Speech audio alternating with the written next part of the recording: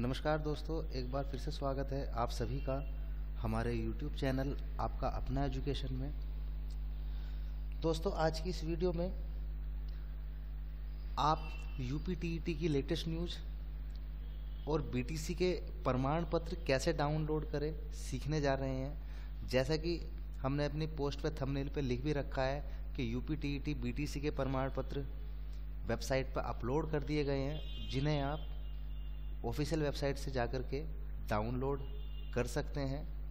तो दोस्तों, आगे शुरू करने से पहले, यदि आप हमारे यूट्यूब चैनल आपका अपना एजुकेशन पर नए हैं तो कृपया हमारे यूट्यूब चैनल आपका अपना एजुकेशन को ज़रूर सब्सक्राइब कर लीजिए और साइड में बने बेल आइकन को भी आप ज़रूर प्रेस कर दीजिए, क्योंकि आपको हमारे यूट्यूब चैनल के माध्यम से रोज़ाना लेटेस्ट अपडेट या लेटेस्ट न्यूज़ या स्टडी मटेरियल, नोट्स, पूरी की पूरी बुक्स पीडीएफ में डाउनलोड करने के लिए मिलने वाली है। तो दोस्तों, शुरू करते हैं। जैसे कि मैंने आपको बताया है UP T T B T C के प्रमाण पत्र वेबसाइट पर किए गए अपलोड। आप यहाँ पढ़ सकते हैं प्रयाग सचिव परीक्षा नियामक पदाधिकारी ने उत्तर प्रदेश शिक्षक पात्रता परीक्षा बीटीसी प्रशिक्षण एवं दूरस्थ शिक्षा से प्रशिक्षित शिक्षा मित्रों को दो वर्षीय बीटीसी प्रशिक्षण के प्रमाणों प्रमाण पत्रों को विभाग के वेबसाइट पर अपलोड कर दिया गया है।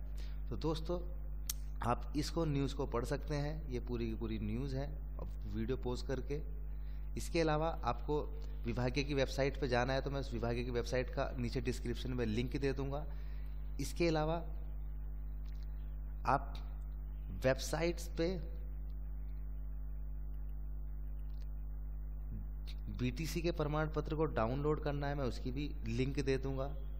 उसके लिए बीटीसी एग्ज़ाम डॉट इन है, आप या तो डिस्क्रिप्शन में जा कर के लिंक पे क्लिक करके ओपन कर लीजिएगा, या फिर आप डाल सकते हैं B T C exam dot in तो यहाँ पे आ जाएगा, आपका सीज़न पूछेगा कौन से ईयर का है, आप यहाँ पे डाल देंगे, उसके बाद आप गो पे क्लिक कर देंगे।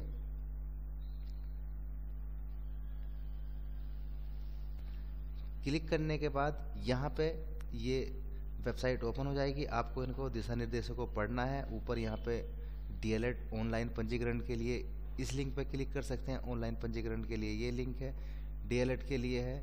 इसके अलावा पासवर्ड भूल गए हो तो इस, यहाँ पर आप जा सकते हैं। तो इस तरीके से आप बीटीसी के प्रमाण पत्र को डाउनलोड कर सकते हैं। तो दोस्तों, आज की हमारी ये वीडियो आपको कैसी लगी? कृपया हमें कमेंट करके अपनी राय ज़रूर दीजिए। यदि आपको इस वीडियो से रिलेटेड कोई समस्या है तो कृपया आप हमें कमेंट करके ज़रूर बताएँ। आज की पूरी वीडियो देखने के लिए धन्यवाद।